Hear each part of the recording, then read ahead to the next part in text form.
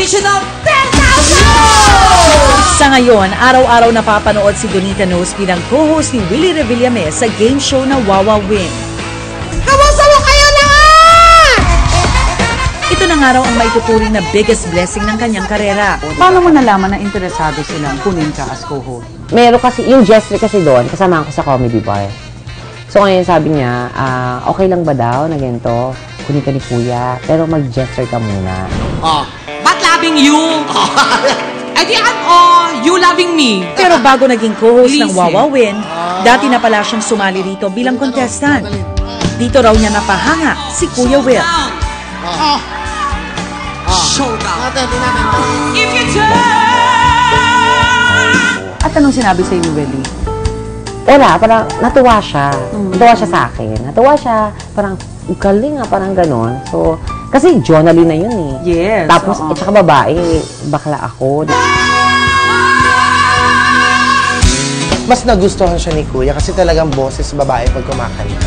Tapos ayun na, hanggang sa pinatawag na siya ni Kuya Willie, hanggang sa naging magkatrabaho na kami rito. Sobra kumamigay ng pampremyo! Welcome sa Arthur Walker! Kasi alam naman natin yung skills ni Donita sa pag-host, di ba? So, talagang inaalalayan niya ako and hindi rin siya yung tipo na parang igagrab niya this opportunity. Kumbaga, parang equal lahat.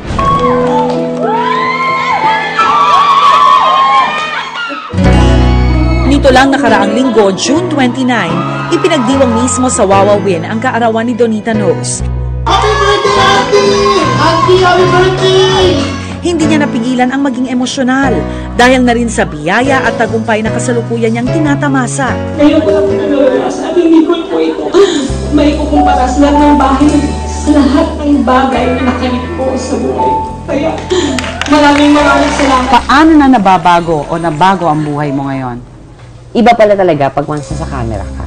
Siyempre maraming umiidolo sa yung tao, ganyan. Tapos, ano, ah, yung tipong paglalabas ka, magmamall ka, biglang may lalapit, magpapapicture. Pero hindi lang masaya si Donita sa itinatakbo ng kanyang karera, kundi maging sa kanyang love life. Ikaw ba, as a person, are you happy at may nagpapasaya ba sa'yo? Meron ang, ah, sandali ah. Sandali lang humabang hair. Donita. are you, ano, in love? Oo, oo. Lag- Oo. Oo, meron. Matagal Meron na kayo. Isang taon. Sa naging landas ng tunay na buhay ni Donita Knows, masasabing para na rin daw siyang nanalo ng jackpot. Pero sa totoo lang, hindi lang ito dala ng swerte, kundi ng kanyang pagtsatsaga at pagsusumikap. Anong aral ng tunay na buhay ni Donita Knows? Kapag may aral, matutunan mo ang tunay na buhay.